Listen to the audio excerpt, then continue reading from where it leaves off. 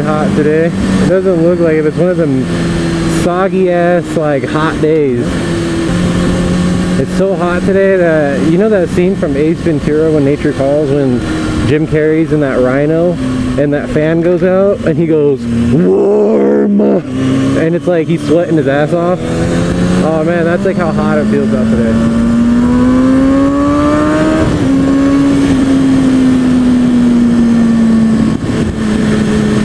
I went up that red light.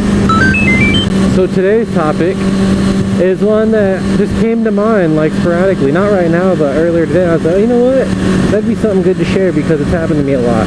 Was bad Craigslist experiences. Now some of these aren't necessarily that they're bad deals or whatever. I got like fucked up shit, but um, like sketchy stuff you could say.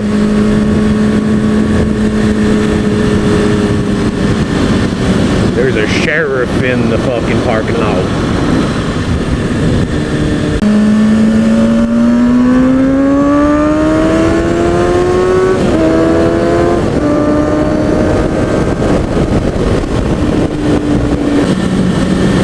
Now my first experience that I can uh, remember from the top of my dome chrome. Chill!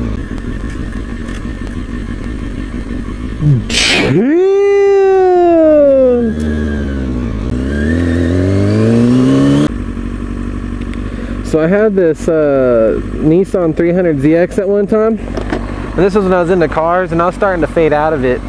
And cars, it's just like, you know, it's too expensive to have an actual fast car and shit. And then I ended up uh, putting my uh, 300ZX up on Craigslist.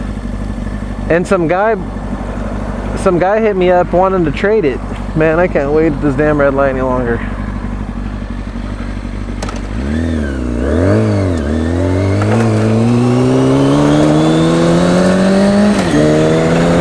And I met the, and I put it up on Craig on Craigslist for I think like 2k.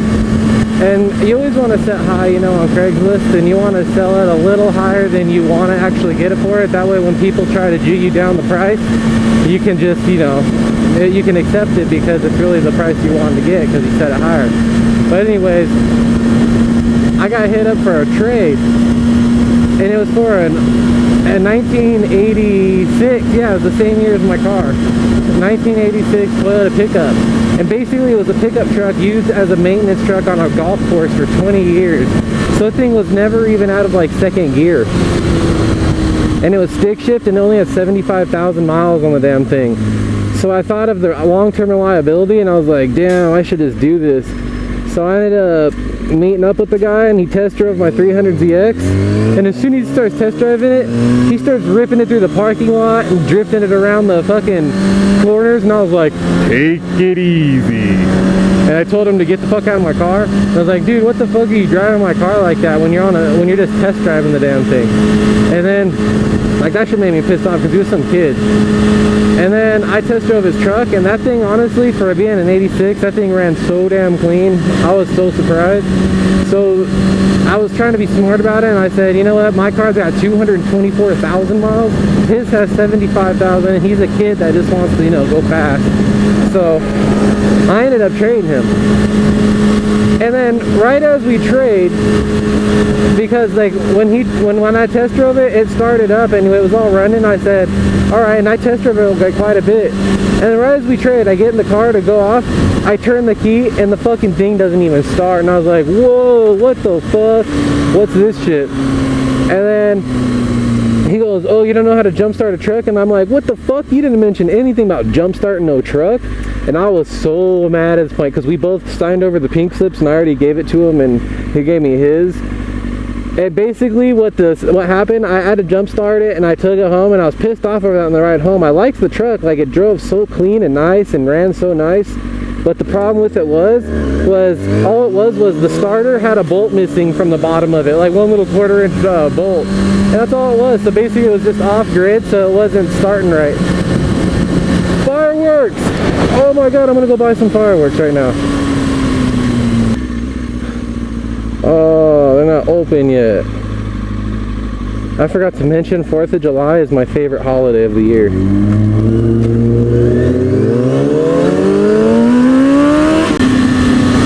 Fourth of July is pretty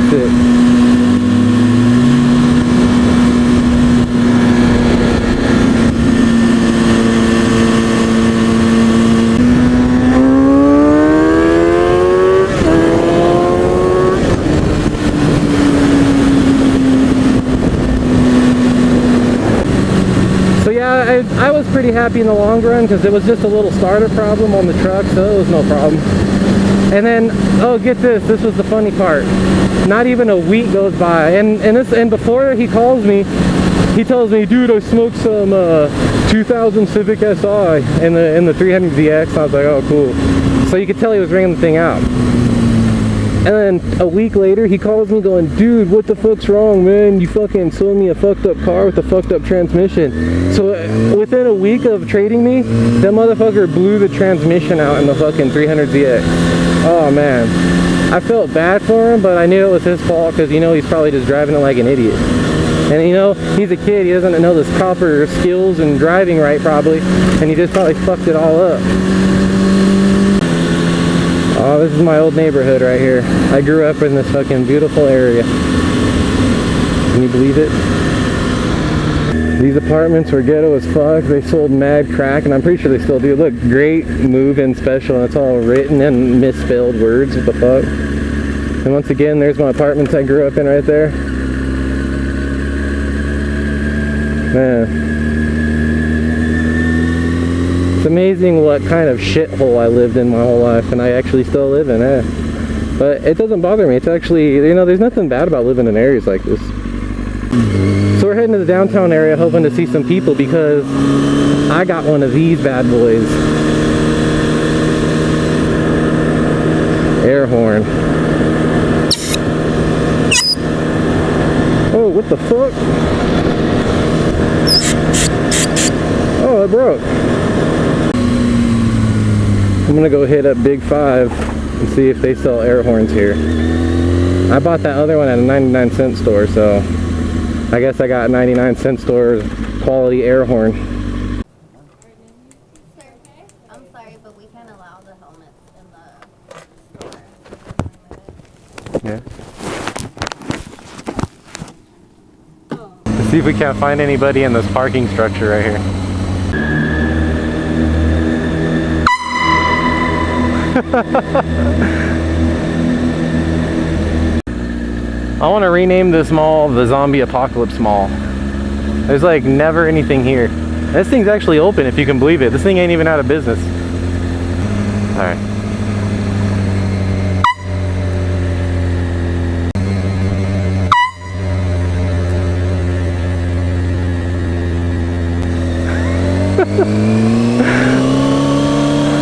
She just wasn't having it. She's like, today ain't your day. Alright, let's see if there's anybody else out here. Look at that. Doesn't that look like zombies were trying to bust through it? And they caged it down? Right here.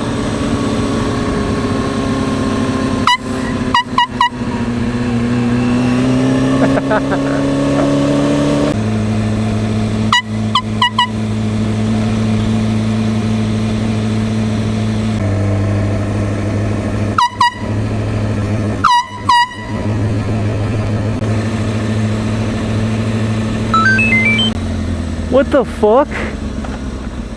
Is that a random Lamborghini in the fucking parking lot? That's not even a Lamborghini. What is that? Oh shit, that's a McLaren. What the hell are you give? Are you fucking kidding me?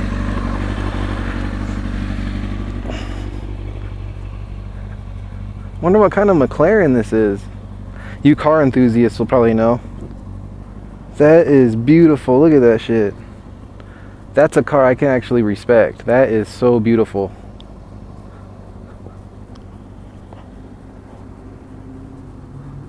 Bad MP4. His license plate's actually painted on the top, on the front. That's crazy as hell. That is a beautiful ass car. It's even got paddle shifters on it. And the exhaust comes out the trunk looking thing right there. Man, that is ap that is too epic right there. Too epic. And just like that, the air horn broke already. And that was $9 well spent right there. Can you believe that? Another bike. Wearing shorts and a t-shirt. I just went back to Big Five and told them that shit doesn't work, and they just gave me my, my nine doll hairs back. so I got some free fun use of the air horn. Uh, my baby just sitting here all happy looking. Now, back to the topic at hand. There's another Craigslist experience that kind of comes to mind.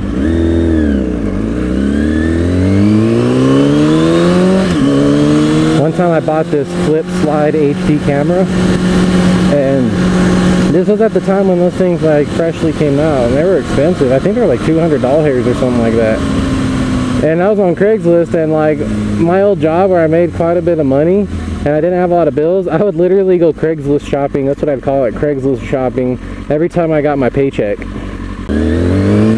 And I came across uh, one of them HD slide cameras for only 60 doll hairs. And it was freshly posted and I was wanting one of those anyways. And um, I hit the guy up and I asked him if he could drop it off at my house. And then he goes, he said no at first, and I was like, all right, man, thank you. And then he calls back and goes, hey, where do you live at? And then I, I told him, like, not my address, but, like, right by my house. And, uh, but it was, like, still, like, right by my house. And he shows up, and he's a sketchy-ass looking, like, dirty dude. He straight looked like he stole that shit from somebody. And when he handed the camera to me, this is what made me realize he probably stole it. He had fresh scabs on his, not scabs, but fresh like cuts on his knuckles. And they were still bleeding. And like skin was hanging off and shit. It was so gross. Like it looked like he just punched somebody in the mouth. And their teeth. Yeah, and then when he handed me the uh, camera, man, I saw that. I was super sketched out. As soon as I saw that, I kind of like instinctively backed away from him. Like, oh shit, what if he just, he could easily just hit me in my face real quick and try to take my money and dip out. And, uh, I mean, he gave me the camera. I gave him 60 doll hairs. The camera worked perfect. And, I mean, we were on our way, but that was sketchy. I thought that, go, that guy was going to try to rob me or some shit, you know? You never know, man. You never know when it comes to that shit. Let's cruise with the Scoot and the Goot guy. Man?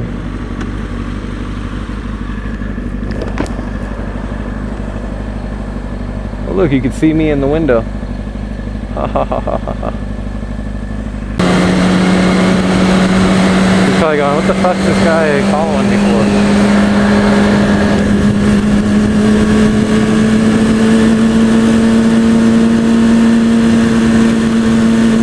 There's the first McDonald's ever made right there in history.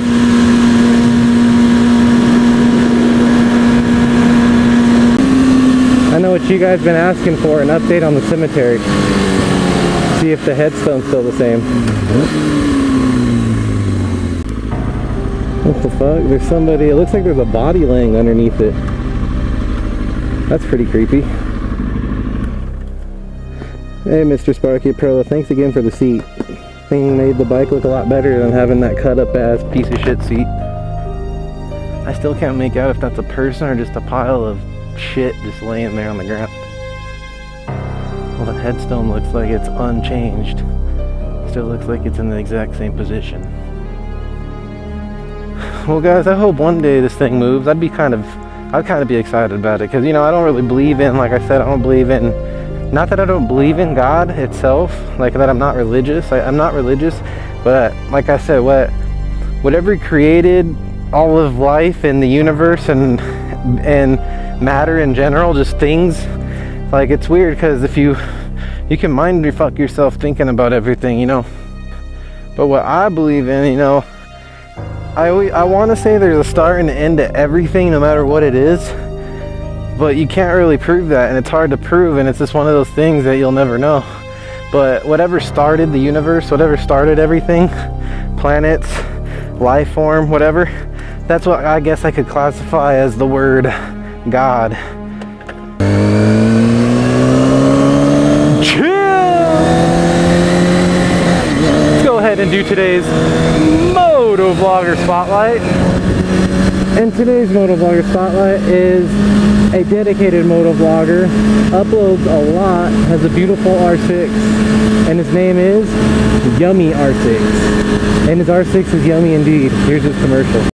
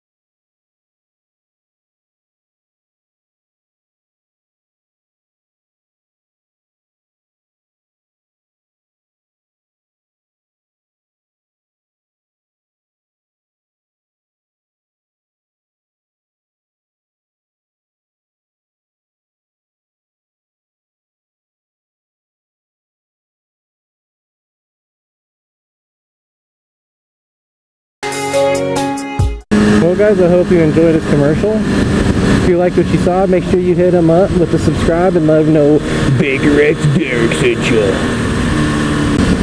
Now some of the cool things that I've got on Craigslist, like great deals, I've gotten um, a Blue Yeti microphone, which is like, if you guys know about microphones, that's a really nice, like the best USB microphone you can buy. They're like 150 bucks brand new still to this day and um, I got one of those for 75 doll hairs on Craigslist as well. That was a good deal, and it was in the box with the manual and all, like perfect condition. I've gotten um, an Ibanez RG320DX guitar, and with the case, and the guy was just moving, and he needed the money like really bad, and he sold that thing to me for 75 doll hairs. 75 doll hairs that was one of the best deals I've ever gotten on Craigslist right there. Cause that guitar, like, you could he could have got like 150, 200, like easy, and that would have been a good deal. My GoPro, my GoPro Hero 2 that I'm actually using right now to make my videos. I actually got that from a guy who tests GoPro for the for the company for a living. That's his career. He's a tester. And I had a Nintendo DSi that I, I think paid 80 bucks for it as well on Craigslist. and uh, I never even played the thing. I I played I bought the thing and I had the thing. It was for the uh, Pokemon games. I used to play the shit out of the old school Pokemon games. I still do play them. They're fun as fuck. I have them on my phone. And then um, ended up getting, uh, I traded him that DSi that I only paid like 80 bucks for, and he gave me this Hero 2. Back when Hero 2s were still the shit, like the main one out and they were still fresh. And then he gave me that thing just for that DSi. And not only that, he hooked me up with all the mounts. I got the chest mount, the head strap mount, all that good shit. It was crazy.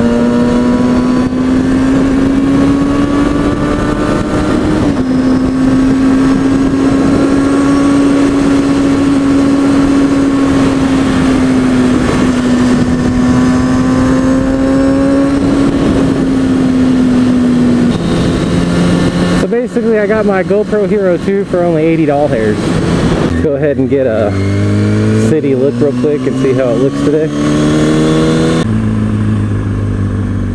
It is smoggy and mucky as fuck today.